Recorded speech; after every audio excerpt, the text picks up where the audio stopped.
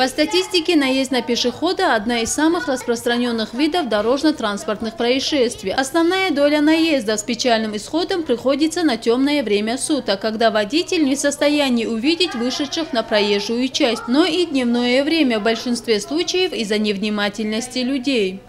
Целях разъяснения последствий несоблюдения правил дорожного движения пешеходами и на какие знаки необходимо обращать внимание при пересечении дороги педагогами начальных классов школы номер 12 был организован показательный урок детям младших классов. Пять правила – это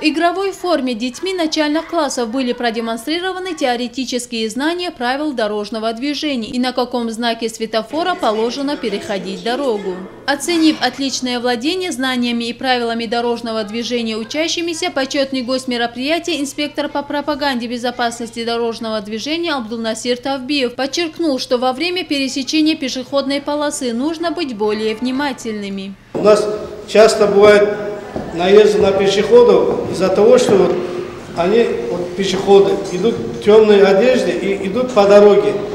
Вот недавно тоже был случай у нас на Бауманской дороге, сбили пешехода из-за того, что у него была темная одежда, и он ближе был к проезжей части. Поэтому для вас самое главное, чтобы вы дорогу переходили, конечно, в установленных местах, где нету транспорта, вот, пропускали транспорт. Конечно, мы стараемся что-то делать, но этого мало.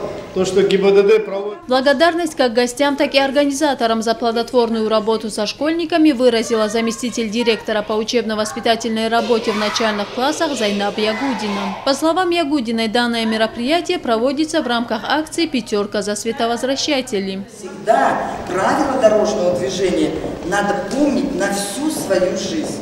И знаки изучать, и правильно переходить дороги.